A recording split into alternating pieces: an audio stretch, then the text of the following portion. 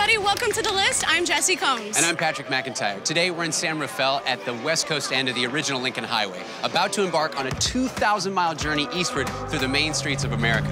We're competing in the Great Race, a road rally that travels on historic routes all throughout America. Scores are based on precision driving and navigational skills, all while driving vintage vehicles. Pre 1972 vintage vehicles, and you will not believe what it is that we're driving. And this year, Jessi also has the honor of being the Grand Marshal of the race as well. Yep, and the green flag is about to drop, so come along with us as we check Race a Road Rally off our list. I've had a love affair with cars my whole life. I build them in my shop, and I race them both on and off road. I've spent years on the auto show circuit talking about cars, but now it's time to get behind the wheel and find the next adventure. Together, we're setting out to tackle all things that every car enthusiast should do. This is The List. Are you ready for the start of the Hemmings Motor News Great Race? Three, two, one,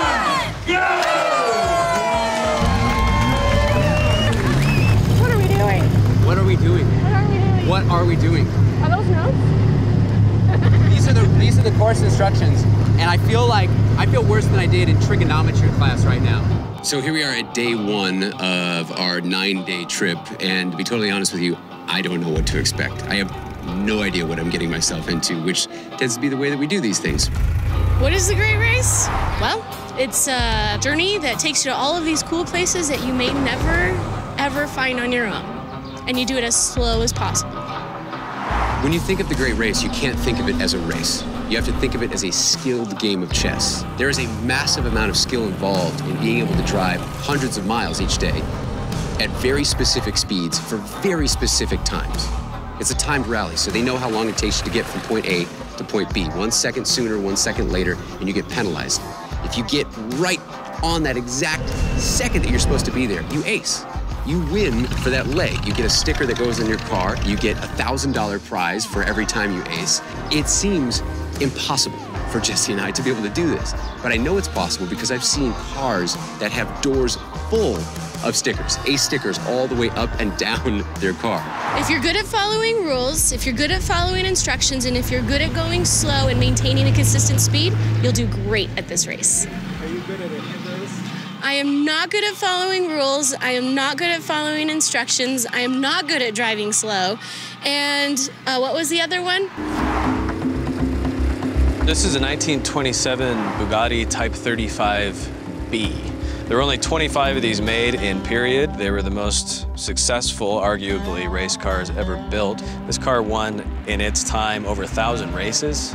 At the same time that a Model T was the most popular automobile in the United States, being able to do top speed of 35 miles an hour, this car could do 130. They don't exist anymore, really. You know, any successful race car gets blown up, smashed up, and the only thing left is stories. Right. This car was built six months ago. What we did is we took all of the original manufacturing techniques, we embraced the technology from the 20s, copied that process, copied the original engineering. So this is exactly what would have come off the assembly line in 27 from Molsheim. Ettore Bugatti had an otherworldly kind of perspective on things, and he didn't just improve on prior principles, he came up with all kinds of new stuff for the first time. This is the first car that ever had alloy wheels. Not only that, but the drums are part of the wheel casting. They're not separate, which means that you have all that extra aluminum to wick the heat off. The front axle is a hollow forging to reduce unsuspended weight so that it handles better. The engine itself is only 2.3 liters, which everybody's amazed by because it's so rowdy and loud having the support crew that we have of Joe and John, John being the owner of the car and Joe being the mechanic in the car, I think that's essential to this. Nothing has gone seriously wrong with the car, but we also have someone who knows every inch of that vehicle looking at it. Every morning, I walk out with my cup of coffee, and Joe is working on the car. And that brings a peace of mind knowing that the car is ready for us and it's going to be safe for the next leg of the journey. The Pur Sang Bugatti was built to race. It's a race car. It wants to go fast. And occasionally, we got to open her up. But mostly, the Great Race is a test of accuracy, not speed. Okay,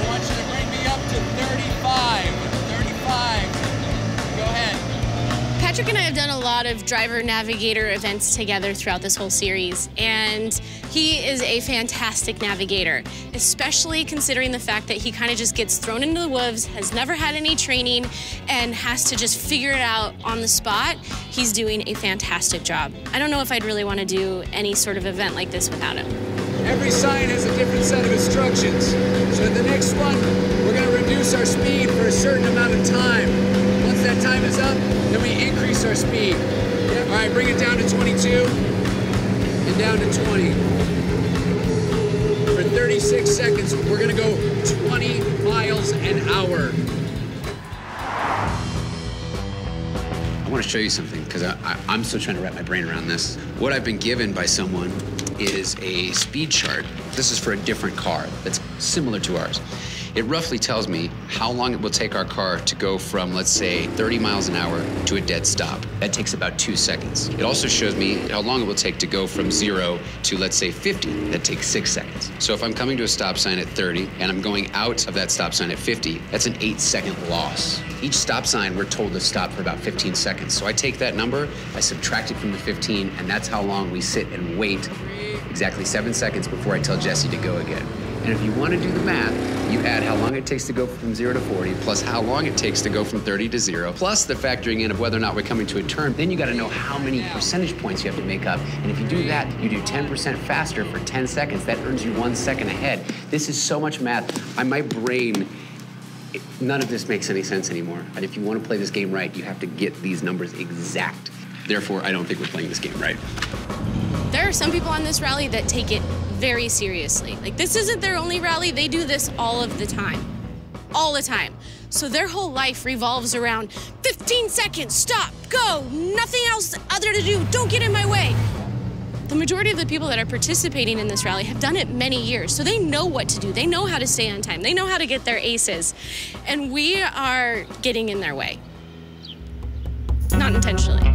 This is Gary Martin. Uh, Gary, I have you here because I want to ask you some questions. You guys are the team to beat when it comes to this. With us being in this race, newbies, we're filming a show. We got a lot of crew with us. Or what, what is the word on the street? Are people waiting for this Bugatti to break down for us to get out of the way, or what? What's the deal?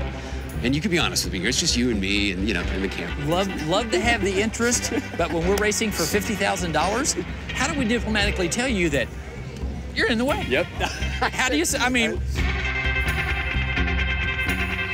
What's amazing is that every city we show up in, it's a car show.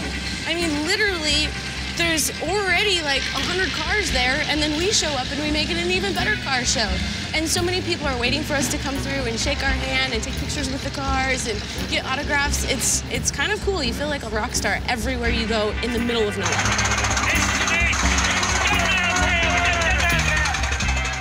Dude, the Finns are awesome. But those guys are party animals. They get the job done. They're dirty every day. I swear, every day they look more and more awesome. It's a it's a 1918 American LaFrance uh, Speedster, and it has a nine and a half liter four cylinder motor. Uh-huh. It's got four coffee cans whomp, like that, and it's uh, it's a, what's called a T-head motor, which is an ancient form of technology. It's extremely reliable, but it runs at about 1,200 RPM. See how low I can get it to go. That's all the way. How rad is that? You guys must feel like the coolest guys in the world. Like, yeah, what up, ladies? What up? The fact that we're taking the Lincoln Highway, it means something special. We take for granted the highways and the freeways that we take now, where we just zip from point A to point B. The road we're on, the Lincoln Highway, is the original connection between basically the coasts. And so we're getting a chance to go places we would have never gone before. We're getting a chance to go to these small towns that used to be hustling and bustling, but once the freeways were established, they kind of fell to the wayside. But they shouldn't have because there's a lot to see. There's great people, there's great scenery, there's great environments that I feel like sometimes we miss out on because we're in such a hurry to get from here to there. The first thousand miles of the journey took us from California through the harsh desert heat of Nevada and Utah, and finally climbing up into Wyoming. And though we gradually grew more comfortable with the car mechanically, the constant heat and wind took a toll on our physical and mental health. I don't know what's going on. I'm so out of it. We're in another town. Jessi's throwing ice at me because I'm sweating. I'm just, I'm so sweaty. Everything is sweaty. Patrick and I are literally straddling the transmission. There is no heat protection whatsoever. The heat literally comes down through the throttle pedals, through the floor. Everything that we touch inside the car is hot. The other day we drove for four and a half, five hours in 103 to 105 degree heat. For about a couple hours, I couldn't figure out if I wanted to leave my hands out so they could burn in the sun or hide them under, down by where my feet go and let them burn from the, from the heat from the engine. Hat, goggles, bandanas on our faces, long sleeve shirts, gloves, breathable clothes. Jessi has to wear gloves the entire time because the steering wheel itself, I've held it, it's incredibly hot. I have sweat coming out of my shoes. That's not possible. Is that possible? Yeah, look. See it squishing out? Oh, gross. I don't even know what town we're in right now. My senses are so blurred. I can't feel my face and my skin, and I can't hear anything. Dude, What? My theme song is I Can't Drive 55. I can't hear you. I can't hear anything right now. All I hear is just. Do we need to get you some earplugs? Uh, Are you losing it? Yep, I'm going delirious out there singing songs, telling every good living thing to eat and die. This is torture. This is a, a endurance test, a grueling endurance test of torture. We're going crazy out there. So we've created our own band. The car has its own rhythm, and Patrick has his own rhythm. I scream like an animal. It's pretty amazing. You guys should come to one of our shows. The schedule is brutal. We wake up early, we leave early, we drive all day, we stop and have lunch. We try to get out as quickly as possible so we can get on the road, meet our times. We end up at our final location. We talk to people for two hours because all the locals want to know about our cars. And then we finally get to have dinner about 10 o'clock at night, and we're exhausted by that time. And then we have to turn around and do it all over again the next day. It's kind of an anomaly to me. I've been around cars my whole life, and it's just something different. There's an other about these pre-war Grand Prix cars. It's something special. It's something different, and I, I've, I've yet to find the words, but it's it's definitely something that has brought my level of passion for cars to a new level. It's something that you can't just hop in and be good at. You have to spend time. Seat time is the key to becoming good at driving it or good at working on it or knowing, knowing what it wants when it wants it. I can't tell you how much I am loving this car. It is becoming an extension of me. I love this car. I don't want to give it back. As with anything that we end up doing as far as adventure, we really poorly think things out before we get into them. but it seems to be working out. We've gone almost 1,400 miles and without a hitch, and the car still runs like it new. A little bit of power loss at altitude. I think we're at about 7,000 feet, but other than that, it's it's ACs.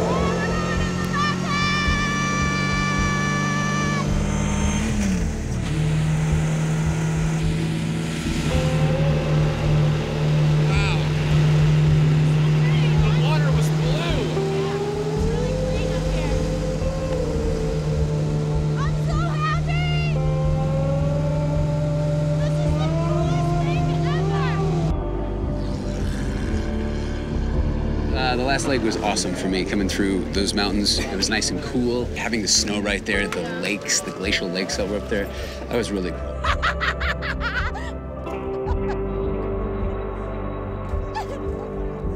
I'm excited. I'm looking forward to uh, the Black Hills and the Dakotas coming up next. So. That's my real home. The Dakotas, that's my real home. I cannot wait to be home. The best part about the Great Race is that you get to drive across America and see some of the most amazing sights that America has to offer. Like one of our most iconic national monuments, Mount Rushmore. Now, it may not be the first time that Jessi and I have seen Mount Rushmore, but it is the first time that we've arrived in style. Now, I will say this car has changed the game of driving through the Black Hills. I've done it on motorcycles, I've done it in trucks, you name it, I've done it. But this just takes it to a whole new level.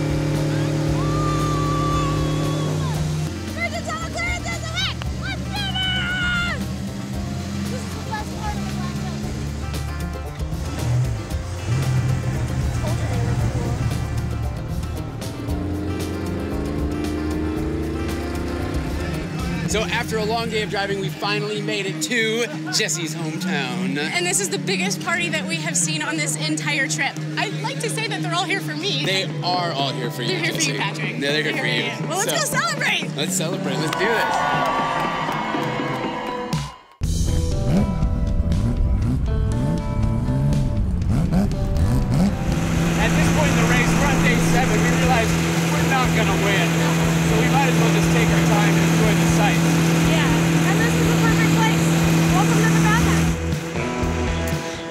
Rapid City through the beautiful Badlands across the long, hot, straight, windy state of South Dakota to right here in Sioux Falls. Now, we realize at this point in the race, we're not exactly in contention for a championship because this is a race of extremes. Yeah, extreme people, extreme cars, extreme distance, and you put all of that together and you get a very unique racing community.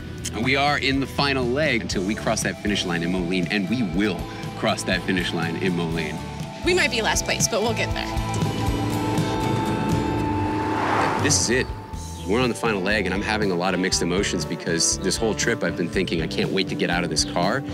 But at the same time, the sights and the things I've seen and the people I've met, and just being here with the crew and, and with Jesse, like, I realize that I gotta go back to real life. It's mixed because it's been a, a brutal, intense race, but at the same time, I kind of don't want it to end.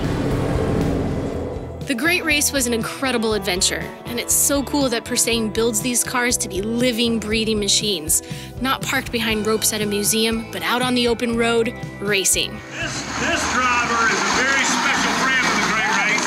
She is the Grand Marshal of the 2016 Hemmings Motor News Great Race, presented by Hagerty, Miss Jessi Combs. Jessi Combs, ladies and gentlemen. Come on, don't. Now, come on. Yes. So, after nearly 3,000 miles of driving through sun, wind, and beautiful scenery, We got to give a lot of thanks to Pur Sang and the Great Race for giving us the opportunity, and I think we can officially check Racing a Road Rally off our list. thanks for watching. We'll see you next time.